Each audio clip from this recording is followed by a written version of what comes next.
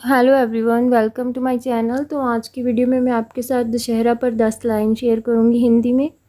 तो वीडियो शुरू करने से पहले एक छोटी सी रिक्वेस्ट है अगर चैनल पे पहली बार आए हैं तो प्लीज़ चैनल को ज़रूर सब्सक्राइब करें। तो चलिए वीडियो शुरू करते हैं दशहरा। दशहरा भारत का एक प्रमुख त्यौहार है। दशहरे को विजयदशमी के नाम से भी जाना जाता है।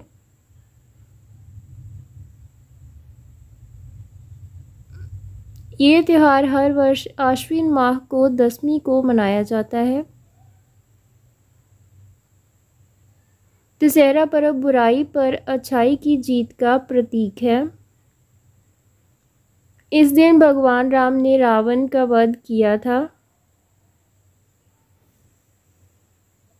ये इस त्यौहार पर रावण, कुंभकर्ण व मेघनाथ के पुतलों को जलाया जाता है। इस दिन मेलों का आयोजन किया जाता है। बाज़ार सजे होते हैं।